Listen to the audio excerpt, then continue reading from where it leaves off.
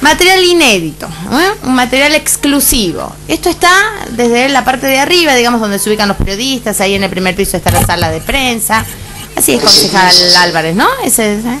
Y hay una cámara que... La Subsecretaría de Prevención y Emergencia, que va a ser el cuarto módulo del 911, de acuerdo al convenio que se ha firmado, si Dios quiere, eh, eso puede estar funcionando o empezando a funcionar dentro de los próximos... Ustedes pueden escuchar que está hablando Gandulfo, o sea, está exponiendo.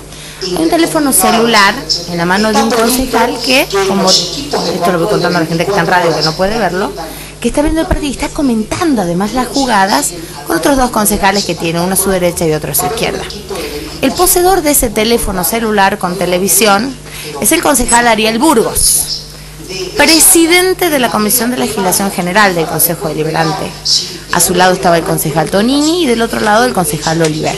sácame el, el un minutito nada más. Ahí está, gracias Paola. ¿eh?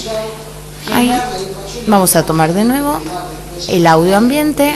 Para que dictamine o habilite o inhabilite si no está correctamente o tenga que modificarlo.